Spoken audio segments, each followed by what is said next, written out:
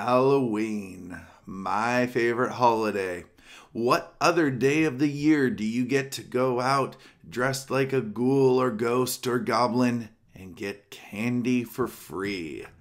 In America, we like to be scared. Look at how well horror movies like Friday the 13th, Nightmare on Elm Street, Cabin in the Woods, The Evil Dead, The Wolf Man, Twilight. Look at how well these movies do. We love to be scared, and sometimes I think it's sad that there is no such thing as ghosts. What's that humming? Hey,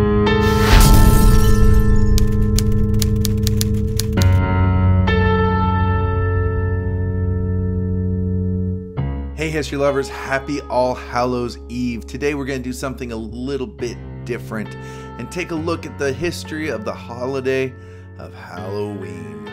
It's a great example about how ancient history affects us today. A big shout out to Kitty Cat for suggesting this video. When looking back at its history, we need to look at really three groups of people that helped influence this holiday. We need to look at the ancient Celts, we need to look at the Romans, and we need to look at the Catholic Church as well. So let's start with the Celts. The Celts were a group of people from Ireland and northern France. They became an agricultural society. They practiced pagan religions, and at the end of each Celtic year, they celebrated a festival called Samhain. Now, Samhain is the Celtic New Year, and it happens on October 31st.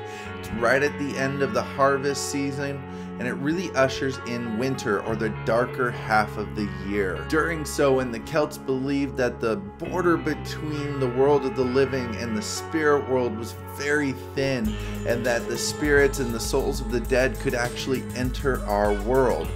Because of this belief, several practices emerged that help to appease or scare away evil spirits. This include leaving food and treats at the edge of town, trying to coax the spirits to the edge of town. Uh, animals were sacrificed and their bodies were uh, used to help tell the future. Huge bonfires were built to emulate the sun and honor the Celtic gods again trying to scare away the evil spirits. They also carved faces into turnips and wore costumes, again trying to scare away evil spirits. So I think you can see where some of these practices have led to the traditions we have for Halloween today.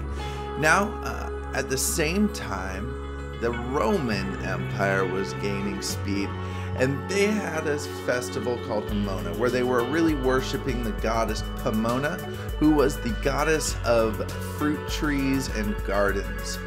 One of the traditions they had during this festival was to lay out nuts and apples as uh, offerings, and this would eventually lead to our tradition of bobbing for apples. Now, sometime around 50 BC, the Romans conquered the Celts and the festivals of Pomona and the festival of Samhain started to merge together and, and become one. Eventually, a new religion became the official religion in Rome. It replaced the pantheon of gods who were there before, like Zeus and Athena, etc. This was what we now know today as the Roman Catholic Church.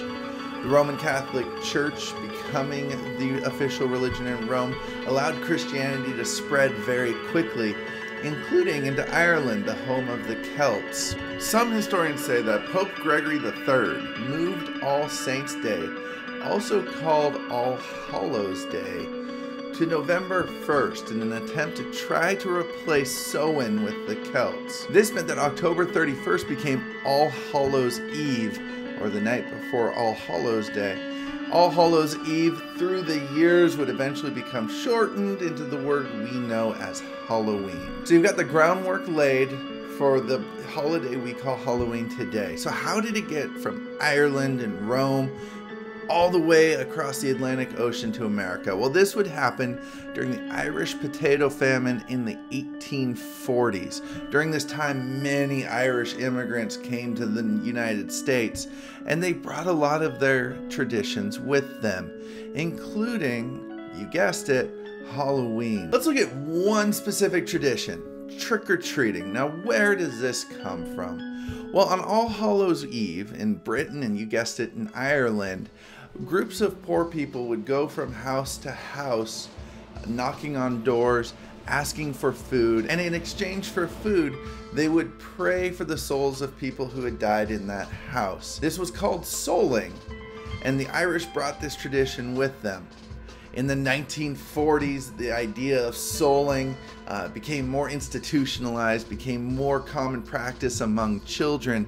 Uh, some people say it was so that children would stop playing pranks on their neighbors and instead go door to door asking for candy, asking, hey, you give me a treat and I won't give you a trick. As you can see, Halloween is a holiday that takes a lot of traditions from different cultures.